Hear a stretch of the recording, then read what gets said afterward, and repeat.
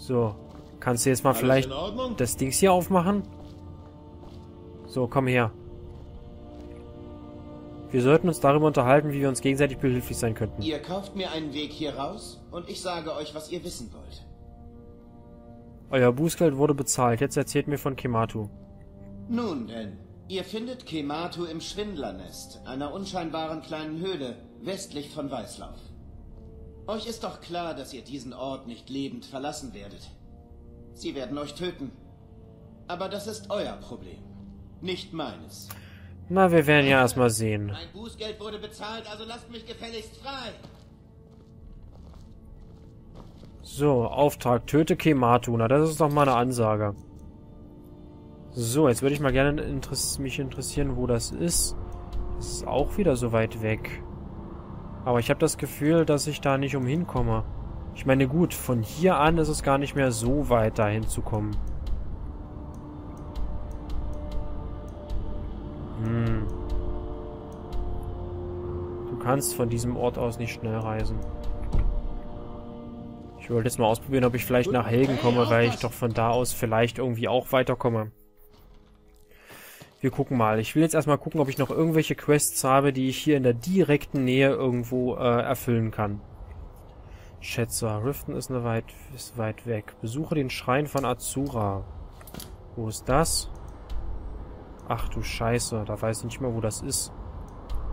Äh, halt, ich will ihn noch gar nicht markieren. Du Scheiße, wo ist denn das? Kann ich das hier wirklich nicht bewegen, den Kartenausschnitt? Doch, hier, mit WHSD, Tatsache. Das ist ja wirklich am Arsch der Welt. Ah, was haben wir denn noch? Aventus Aretino. Ähm, M. In Windhelm. Ist auch so weit weg. Töte den Banditenanführer in Lager Stiller Monde. Das ist noch einigermaßen nah ran. Das könnte man mal machen. Hm, Aufstand der Sturmhändler. Finde die Energiequelle in Todmannsruh. Das ist weiter weg. Ähm... Begib dich zur Akademie von Winterfeste. Das war, glaube ich, auch weit. Das ist ja noch weiter weg. Gut, dann würde ich sagen, begeben wir uns mal zu diesem Lager Stiller Monde. Äh, dazu ist es, glaube ich, am günstigsten, wenn ich hier im Staubmannsgrab beginne. Beim Zaubern solltest du warten, bis der Zauber bereit ist, bevor du die Taste und dann kam noch irgendwas anderes. Ich höre Geräusche.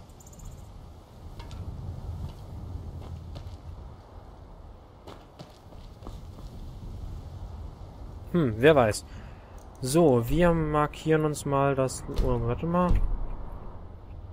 Ich laufe einfach weiter nach Osten und dann... Guck, guck mal, da ist es sogar schon markiert.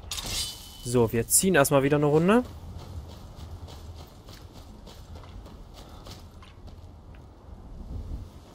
Ach, ich bin hier über so einen Knochen. Durchsuchen Skelett. Stark. Das war ein einzelner Knochen. Was ist das hier? Hm. So eine Art Unterschlupf oder so. So, dann wollen wir mal schön weiter rennen. Was ist denn das hier? Igitt. Oh, das sieht aus wie, so, wie diese komischen Chitinenviecher da. Schlammkrabbe. Oh Gott. Scheinen zum Glück nicht so viel auszuhalten. Stirb. So, durchsuchen. Schlammkrabbenchitin, Schlammkrabbenbeine. Das ist ja voll praktisch. Wo ist denn die dritte? Ich habe doch gerade drei getötet. Ich kann die leider damit auch nicht zur Seite schieben irgendwie. Ach nee, Quatsch, die dritte liegt hier. Haha. So. Na komm, du auch noch? Wo sind die hin?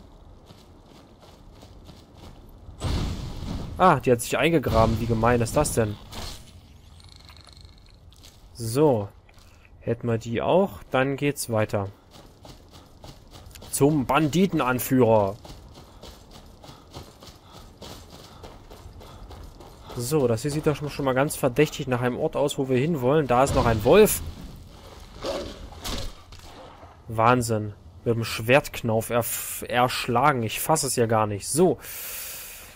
Ha, da ist noch irgendwo ein Gegner markiert. Der bewegt sich. Schön vorsichtig sein.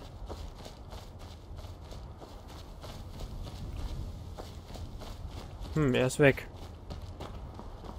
Was ist denn jetzt auf einmal hier noch markiert? Steht nicht da. Hm, ich würde sagen, ich speichere erstmal sicherheitshalber wieder.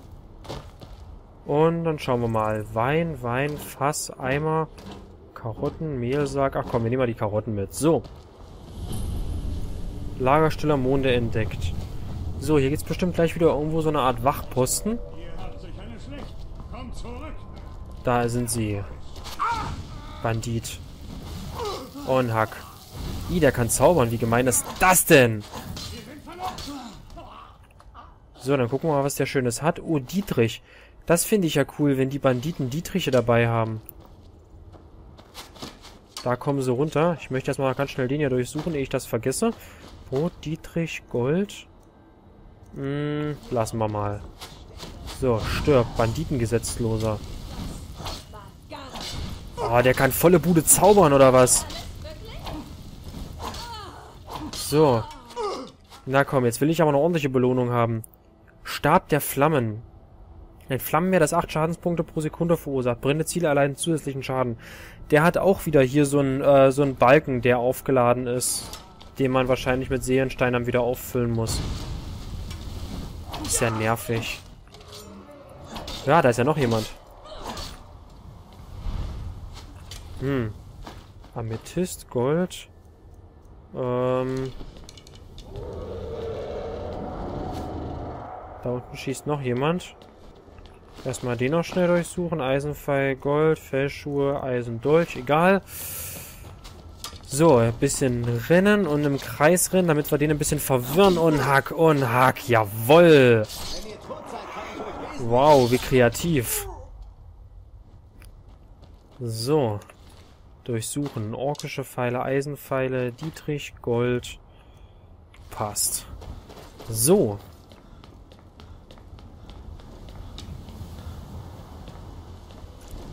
Ist das hier schon das Lager oder muss ich hier noch irgendwo reingehen?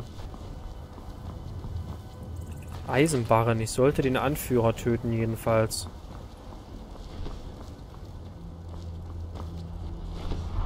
Cool, hier gibt's eine Schmiede. Mondstahl-Schreitkolben. Das ist ja cool. Vor allem Streitkolben ist eine Einhandwaffe.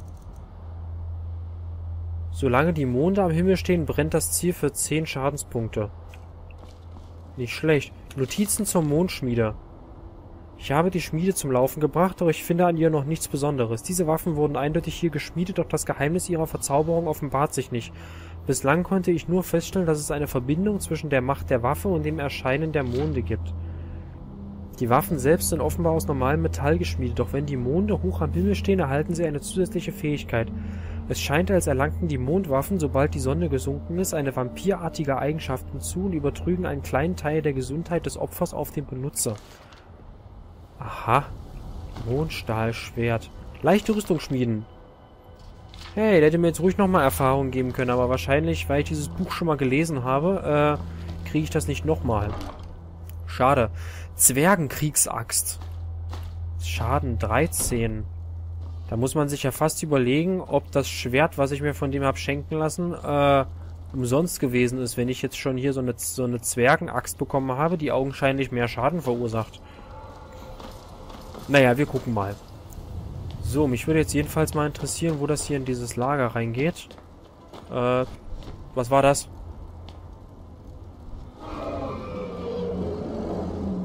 Nein, ein Drache!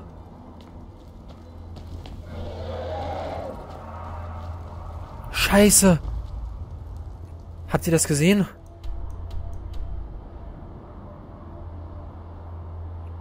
Oh Gott.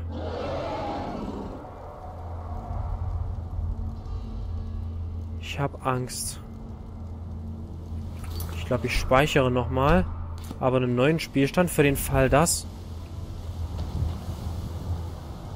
Ich halte mich jetzt hier mal nah an dem Felsen. Vielleicht sieht er mich nicht. Ich habe jetzt ehrlich gesagt gerade keine Lust, gegen einen Drachen zu kämpfen.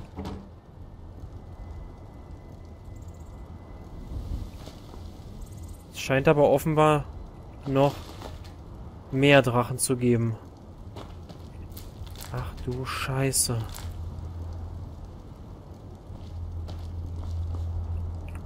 Irgendwo hier ist ein Drache. Könnte vielleicht irgendwas mit diesen Symbolen da oben noch zu tun haben. Ach du Scheiße, das war gerade so ein Geräusch, da dachte ich, verdammt, weil das genau das gleiche Geräusch war, was damals äh, in Helgen gekommen ist.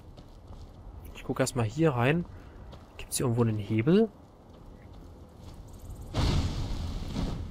Hm. Hm. Vielleicht ist das der Ausgang von dem Lager.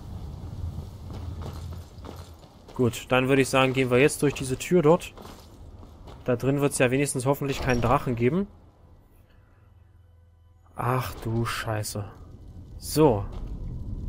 Weiter geht's.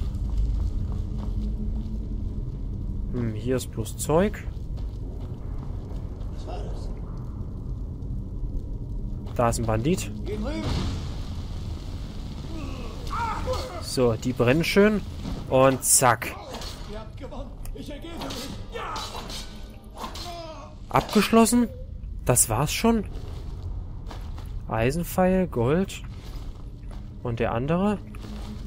Gold. Hm. Theoretisch kann ich ja jetzt auch noch ein bisschen Gedöns mitnehmen.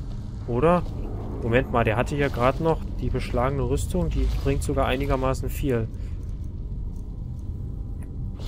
Ich meine, ich kann ja jetzt ruhig noch ein bisschen Zeug mitnehmen. Wenn ich jetzt hier wirklich, äh, wenn das jetzt hier wirklich schon alles war. Hm, Kartoffeln, Äpfel, Salz nehmen wir mit. Truhe, orkischer Bogen, die bringen schön viel Geld. Das Fass ist leer, aber ich wollte nochmal nach hier oben. Da war ich, glaube ich, noch gar nicht fertig mit durchsuchen. Die haben mich ja hier unterbrochen. In den Fässern ist sowieso bloß Gedöns drin. Ähm, ist hier noch was? Nee, hier irgendwo. Kessel, Krug. Nee, dann war es das tatsächlich schon. Dann geht's weiter. Dann war das tatsächlich jetzt schon der Anführer. Wahnsinn. Wahnsinn. So, Oh, Bandit. Was war denn das jetzt? Der erste Schlag hat so gut wie gar nichts abgezogen und der hat jetzt hier richtig reingeknallt. So, Hawkerfleisch. Ach komm, wir nehmen das mal alles mit. Dann sind wir jetzt zwar dezent überladen, aber meine Güte, äh... Ich werde jetzt sowieso... Oh, da ist noch ein Schloss. Ich werde jetzt sowieso dann sicherlich bald nach Weißlauf zurückkehren und dann können wir das hier entsprechend äh, gleich alles wieder verkaufen. Wenn ich einen Händler finde, der noch Geld hat. Nach der letzten Verkaufsorgie. Na, komm schon. Jawohl. So. Nächster Raum. Das scheint wirklich nur noch so eine Art Lagerraum zu sein. Amethyst, Gold, Zaubertränke. Ich glaube, ich muss nachher doch noch ein bisschen was von dem ganzen Mist hier wegwerfen. Mondeisen, Streitkolben. Jetzt trage ich wieder zu viel. Zaubertränke. Lösung der Gesundheit. Was ist denn Lösung der Gesundheit? Muhahaha. Gesundheit wird für 60 Sekunden um 60 Punkte erhöht. Hm. So, was könnte man mal wegschmeißen? Ich glaube, Bekleidung habe ich ein bisschen was Unnützes. Die Fellschuhe zum Beispiel können weg. Fellrüstung kann weg. Pelzrüstung kann weg. Die beschlagene Rüstung wollte ich erstmal behalten. Äh, der Dolch kann noch weg. So. Sollte fürs Erste reichen. Mal gucken, ob ich hier noch irgendwas Wertvolles finde. Dann muss ich hier doch nochmal tauschen. Angebratener Schlachterfisch. Hm. Naja, passt schon, ne? Tschüss. So, da sind wir wieder. Truhe. Gold, Zaubertränke. Ich trage schon wieder zu viel. So. Na gut, dann werden wir jetzt hier mal schön an der Kette ziehen und... Na, komm schon, komm schon, komm schon. Ich weiß gar nicht, aber ich, ich hoffe mal, dass ich schnell reisen kann. Wenn ich... Scheiße, ich bin überladen. Bei Team Fortress wäre das was Cooles, wenn ich überladen bin. so, was wollte ich denn jetzt mal wegschmeißen? Äh, hier bei dem Essen. Guck mal, ich esse mal jetzt hier einfach so einen Mehlsack. Und dann können wir schnell reisen. Hey. Drachenfeste, jawoll. Durch seine zentrale Lage in Himmelsrand hat sich Weißlauf irgendwas mit Provinz entwickelt. So, dann lassen wir uns jetzt das Kopfgeld aus, ja, äh, auszahlen und ich hoffe, dass es möglichst viel ist. Vielleicht kann ich mir dann noch was für meine Butze kaufen. Ich steck mal lieber die Waffen weg, nicht dass sie denken, ich will den Jarl töten. Dann ist Irileth sauer auf mich. Wo ist denn der Vogt? Hallo? Ach, seht ihr mal, ich wollte ja sowieso nochmal mit dem, mit dem, mit dem Arschkeks hier sprechen. Wo ist denn der? Schläft der? Die Hallo? Göttlichen sind euch hold, mein Freund. Äh, was habt ihr zu Zauber verkaufen? Und Beschwörungen für jene, die sie anwenden können. So, dann gucken wir nochmal. Bücher. Beschworene Streitaxt. Ach stimmt, genau, das war sowas. Zauberbuch Blitz. Der Gesundheit 25 und Magika halb so viele Punkte Blitzschaden. Eine Blitzrune. Explodiert auf eine in der Nähe befindliche Oberfläche gewirkt. Wenn Gegner zu nahe kommt, versucht 50 Eisstachel. Feueratronarchen beschwören. Feuerblitz. Ein Feuerstoß, der 25 Schadenspunkte verursacht. Brennende Ziele erleiden zusätzlichen Schaden. Feuerurne. Ach nee, Feuerrune, so rum. Flammen, das habe ich schon. Frostbiss, Frostrune, Funken, Furcht, heilende Hände. Heilung, Heldenmut. Hellsehen, Kerzenschein. Erschafft für 60 Sekunden eine schwebende Lichtquelle. Leichnam wiederbeleben. Leichter Schutz, Magierlicht, niedere Untote vertreiben, Raserei, Schnellheilung, Schutzgeist, Sehen, Zombie erwecken. Es gibt hier schon richtig nette Sachen. Seelenfalle. Den kaufe ich. So, ich glaube, ich werde gleich mal noch ein bisschen was verkaufen. Guck mal, ich kann nämlich hier den Stab der Flammen, den kann ich nämlich noch an den verkaufen. Fibel des schöneren Wohnens in Weißlauf, da gucke ich auch gleich mal noch rein. Schriftrollen, Rolle der Hysterie und des Feuersturms, 1377. Ich glaub's ja wohl. Hier gibt's sogar gefüllte Seelensteine, das ist ja krank. So teuer sind die gar nicht. So, ähm, Entschuldigung, mir steckt hier gerade ein Nieser an der Nase, aber er ist nicht rausgekommen. so, äh, was wollte ich denn jetzt noch machen? Ich war überlegen, ob ich mir noch was kaufe. Du bewegst dich 180 Sekunden lang lautloser. Kerzenschein. Wer will das schon? Also bestimmte Sachen, die hole ich mir vielleicht später mal. Ich muss jetzt nochmal genau gucken, den Unterschied zwischen Feuer, Eis und Blitz. Also Blitz scheint immer Gesundheit und Magika-Schaden zuzufügen. Eis macht Frostschaden auf Gesundheit und Ausdauer. Und, äh... Blitz, wo hatten wir's denn? Äh, Blitz macht, also Blitz, nochmal, Blitz macht Gesundheit und Magika.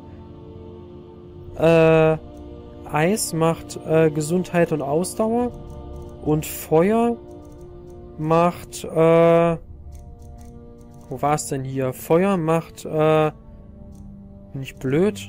Flammen zum Beispiel hier oder Feuer, meine Flammen. Schadenspunkte pro Sekunde. Brennende Ziele erleiden zusätzlichen Schaden. Ja, also der Blitz macht Schaden, solange ich treffe. Ach nee, das ist jetzt ein Feuerblitz. Mann, wo sind denn? Das ist so durcheinander hier gerade. Funken, sowas hier, genau. Der macht Gesundheit und Magika Schaden. Also der macht nur Schaden, solange ich treffe. Das Feuer macht auch Schaden, wenn ich ihn einfach anzünde und dann weglaufe. Aber dafür macht Blitz eben noch Magika-Schaden dazu. Und das hier macht Ausdauerschaden. Wobei ich, ich glaube, dann kann ich das Eis zumindest erstmal weglassen. Ähm, ich gucke mir nochmal die Verbesserungen an dafür. Ich habe das Gefühl, dass ich mich jetzt langsam mal so ein bisschen hier zaubermäßig weiterentwickeln möchte. Äh, Zerstörung. So, mit Feuer kann ich hier nämlich nachher das Ziel fliehen lassen, mit Eisenskälte lähmen, mit Blitz auflösen, wenn die Gesundheit niedrig ist. Ansonsten hier erstmal natürlich mehr Schaden verursachen. Hm. Also solche Zerstörungszauber finde ich auf jeden Fall cool. Besucht ihr die Drachenfeste um über die an... Werft einen Blick darauf. Ja, ich bin mir jetzt überhaupt nicht sicher, welche. Ich, ich würde mich, wie gesagt, gerne auf eine Zauberart sozusagen beschränken, also nicht beschränken, aber jetzt erstmal fokussieren. Blitz macht eben Gesundheit und Magika. Was nicht schlecht ist, weil dann habe ich, wenn ich einen zaubernden Gegner habe, dann nerven die mich nicht so. Auf der anderen Seite kann ich mit Feuer eben anzünden und danach weglaufen. Das ist auch nicht schlecht. Und mit Eis? Ja, Eis will ich nicht. Das ist Gesundheit und Ausdauer, das halte ich jetzt erstmal für mich nicht für so sinnvoll.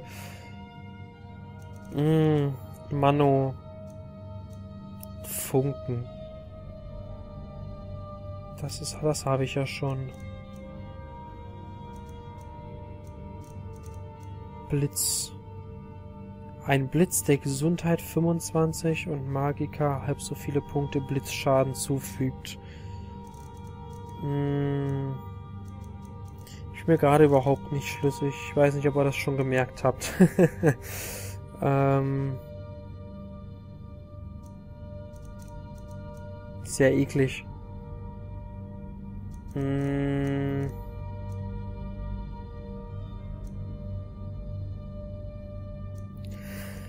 Ja, ist ihm ärgerlich.